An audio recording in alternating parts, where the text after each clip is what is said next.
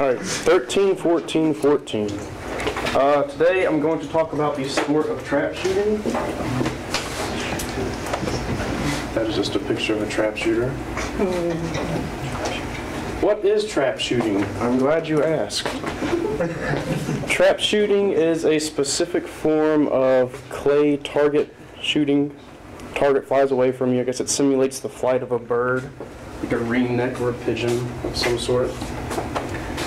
Uh, the basic history. Trap shooting began in England around the early 1700s, where they shot live pigeons as targets. Uh, and it made its way stateside in the 1830s, around about, where they started shooting glass spheres instead of the live pigeons, and then they slowly moved on to the clay target that we have today, or the clay pigeon. There's a picture of the clay pigeon. Some are yellow, some are green. They're biodegradable. Uh, the trap field and house. There's two key features. You got the trap house that holds the machine that throws the clay targets, and then you have the field itself, which is there you go. This is the house. It throws the clays out in an oscillating manner away from the shooter.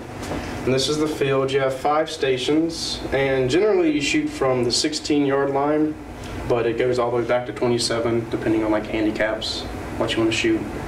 And so you start out, uh, person on the far left will start the match, and you shoot five shells from each station, five targets, and then you move to the next one, and the next one, and the next one. So you shoot a total of 25 clays. Um, and what to shoot clays with? Generally, you shoot clays with a 12 gauge shotgun, but I guess you could use like a 410 or a 20 gauge or 16 gauge or 28 gauge. Anyways, uh, let's talk about the four basic models of shotguns which you shoot with. The first and foremost is the over-under shotgun. Uh, the reason it's called an over-under is because quite obviously the barrels are placed over and under each other. Uh, these are generally the most expensive type of shotgun. I'm not sure why. Uh, then you have the single shot, which is really popular for trap. Uh, clearly, you have a single barrel. Uh, yeah, that's the most popular. I don't know why. I guess it's just trap. You don't shoot more than one clay at a time, so you don't need multiple shots. Uh, then next you have the semi-automatic.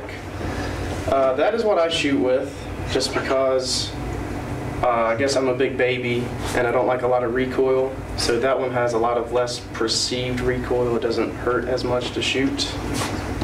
And then next you have the pump action, which is, I guess it's the oldest, not the oldest, but the most versatile to shoot clay targets with. I think everyone knows what a pump action shotgun is. Pump the shells in. And thank you very much.